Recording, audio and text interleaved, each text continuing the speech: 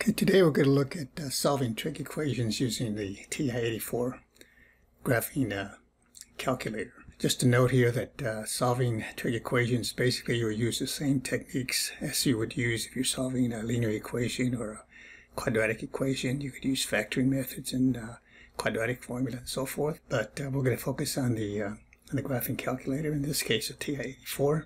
So we want to solve each equation for solutions in the interval given. So the interval we want is from 0 degrees, including 0 degrees, to 360. Uh, 360 would not be included. Okay, they repeat from 0 to 360, they start repeating. So uh, sometimes, sometimes they'll ask you, they want it in the you know, from 0 to 360, or sometimes if you're dealing with radians, it'll be 0 radians to 2 pi radians. Again, open here because we don't include the 2 pi. Okay, it's anything in between. Now, if we want the if we want the complete solution, then all we have to do is add a multiple of uh, either if you're dealing with uh, working with three uh, degrees, a multiple of 360, or you're working with radians, a multiple of uh, of 2 pi. Okay, so let's let's clear this.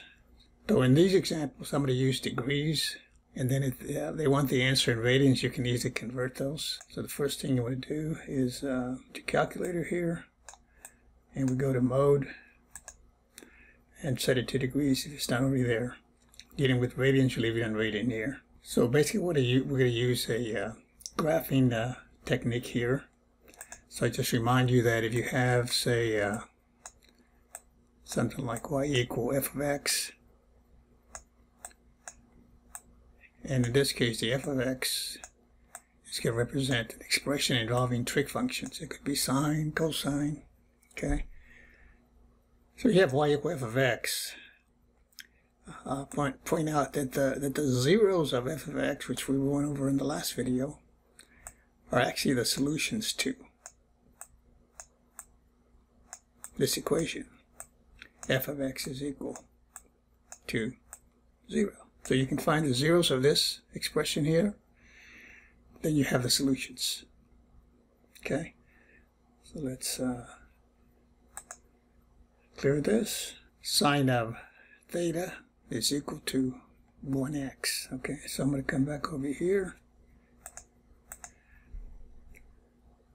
So if I want to put this in the, in the form that I needed, I would write it as uh, sine of sine of theta or sine of x, whatever it turns out to be, uh, minus 1 half is equal to, to y. So if I, when I come over here on this right here, I would enter sine of, okay, I'm just going to use x, just a variable, so it could be x, it could be theta. I'm just going to use x here. And then I want this set equal to 0. So I would have it in the form y equal f of x, okay? So that would mean then I would enter sine of x minus 1 half, or let me just put 0.5, same thing. Now, if I just, so what I want to do now is just look at the graph of this, and wherever this graph crosses the x-intercept, or the x-axis I should say, uh, in this particular interval, that correspond to the solutions. So if I just hit the graph,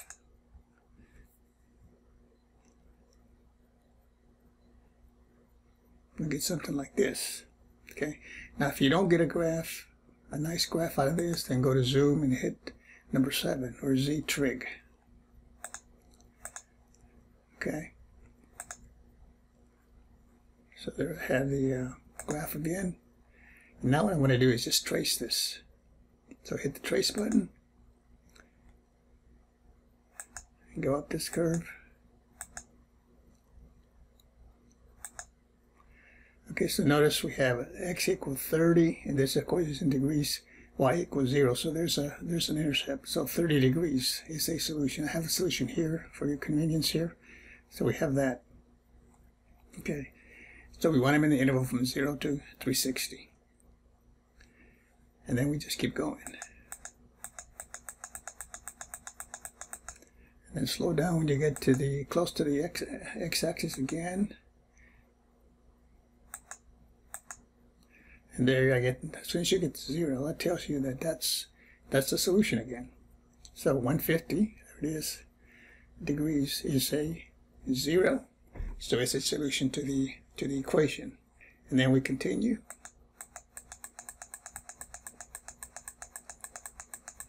So again, we want we want to stay in the interval from from 0 to 360, not including the 360. Okay, so look at this value here, x is equal to 330, so we continue.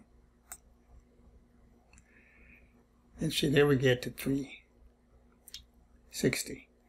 So we can stop. We've got all the solutions. Now if I keep going, if I keep going, notice I get 390, y equals 0. 390 is also a solution, okay?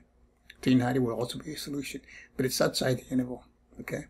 So basically, uh, if a if a trig equation has one solution, it could have an infinite solution set because they just keep repeating as you go with just adding uh, the uh, the period of the function, okay, which in this case would be uh, 360.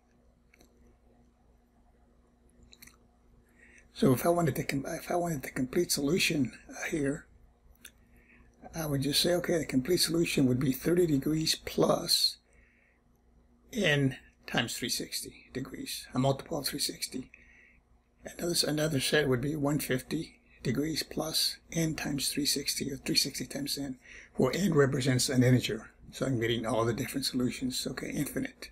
There'll be negative uh, values and positive values okay, because n could be uh, any integer, okay, but they want them in this interval right here.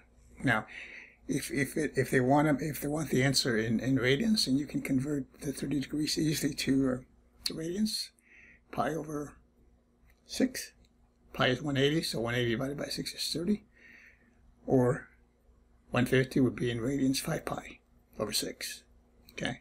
You can easily convert those. Okay, so let me clear this. And let's go to the next one okay so here I have uh, 2 cosine of x sine of x minus cosine of x equals 0 now if I was working this if I was working this without the graphing cal calculator here I would factor out the cosine just like you do something like x squared minus uh, x is equal to 0 factor out the common factor set each factor equal to 0 and you can solve it. So you can solve these the same way okay? But we're using the, we're using the calculator here. Now, the, now the, the method I'm using here works nice if your answers are exact. Okay, we didn't get anything with decimals yet. Okay, so let's look at this one here. Uh, let's clear this, and we'll put uh, two cosine. Again, I'm going to use uh, x in this one. It's x already there, so x and then sine of x minus cosine of x. And then again, I'm going to hit the graph.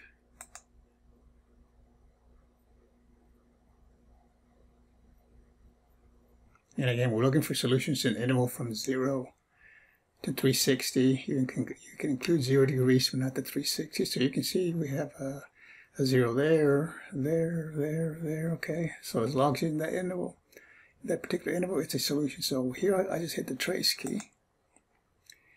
Okay, so then we come back over here.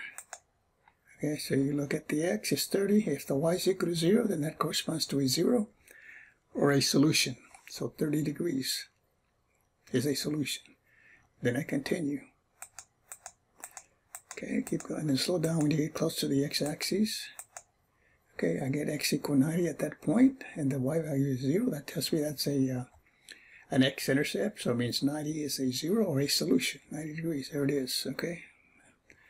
Then I continue.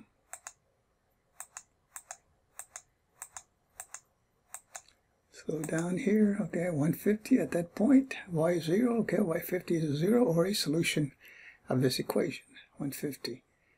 And we keep going.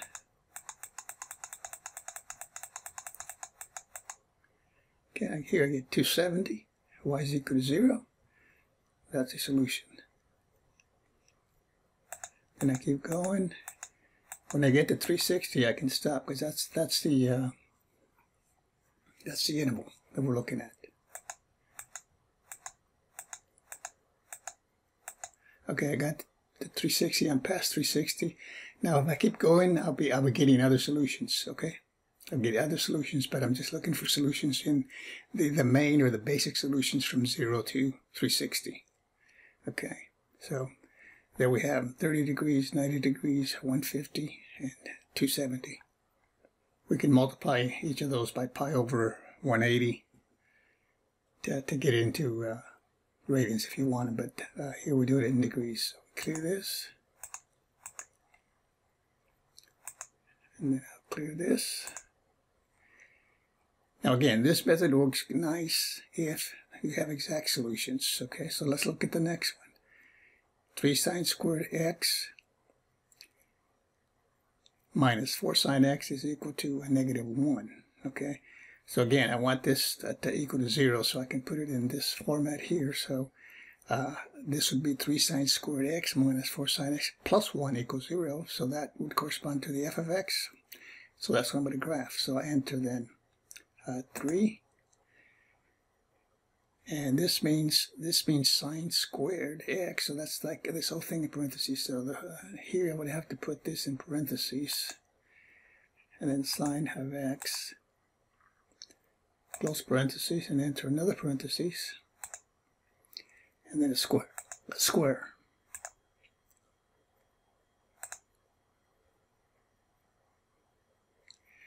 and then it's uh, minus 4 sine of x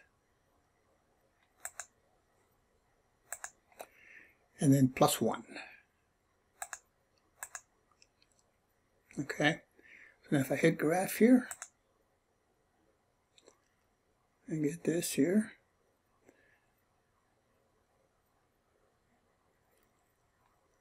So now I'm going to do a trace. Okay, so the first intercept is right there at that point there, so I'll go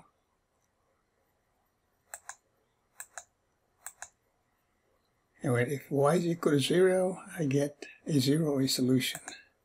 And there it is, x equal 90, Okay, remember I have the calculator set to uh, degrees, so this is 90 degrees, y equals 0, so there's the uh, solution set. 90 degrees is one solution. I can add 360 to that and I get another solution, okay? But I'm only looking at those in that particular interval. Okay, so now I keep going on the trace here. Okay, so I should be coming up with another solution.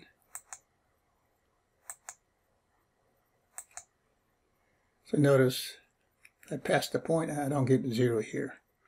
So this is one you can see you can see by the answers where they're not uh, uh, these are rounded off. So I didn't get an exact answer here. So if you don't get an exact answer, what you want to do is uh, and let me just keep going through the whole thing so you can see.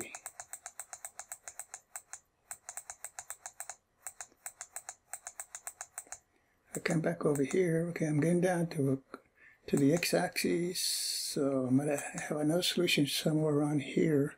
I've already passed the 360 here. So let's come back.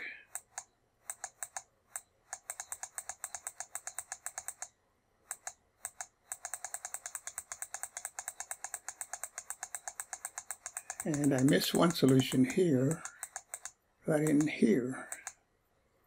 At this point right here, less, uh, smaller than 90 degrees. So if I keep doing, I can do the trace here, again, I don't get an exact answer here. So if you're going through the trace method and, you don't get y equals 0 for that particular value, what you want to do is go to calculate here. So hit the second key here, and then we're looking at calculate. And what do we want? A 0, so 2. Hit 2.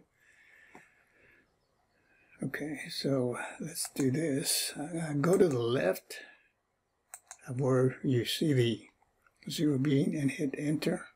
Notice over here, it's giving you a left bound. Okay, you want, you want to bound to zero, so hit enter.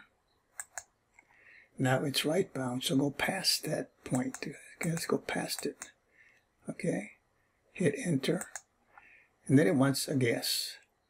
Okay, you can just uh, ignore that and hit enter again. And there you have it. You get y equals zero, so this, this is some approximation here. 19.47 and so on.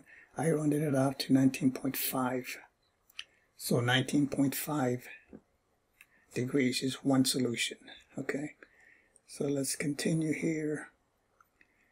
Uh, so we already got the 90. Okay. So we got another one somewhere over here. Okay, so let's hit uh, second, calculate, okay, again, 0, 2. Okay, so let's go. So the next one is going to be right somewhere in here. So we're close to the x-axis there. Hit enter. Okay. Now I want to right bound. So go past it, up. Okay, hit enter. And this is for a guess. Ignore it, hit enter again. And here I have it. 160, I rounded it out to 160.5 degrees, y equals 0. So your solutions to this particular equation are 90 degrees, 19.5 degrees, and 160.5. And uh, earlier we saw that if I continued before I got over here, I went to past 360. So that's all the solutions that we have. Again, uh, those are the basic solutions in the interval from 0 to, in this case, 360 degrees. If you want the complete solution, okay, you simply add a multiple of uh, 360, or if you're dealing with radians, 2 pi, okay, depending on what function you're dealing with, the, the sine and the cosine have periods of uh, 360 or 2 pi, sine, cosine, secant, and, and cosecant also, tangent and cotangent have a period of, of pi, okay? So there's different uh, techniques you can use. Uh, uh, also, you have, say, multiples of the angle. You have like a 2x or a 3x, that's going to be a little bit different, but this is the uh, basic idea of solving trig equations. So that's it for the video. Thanks for watching. We'll see you next time.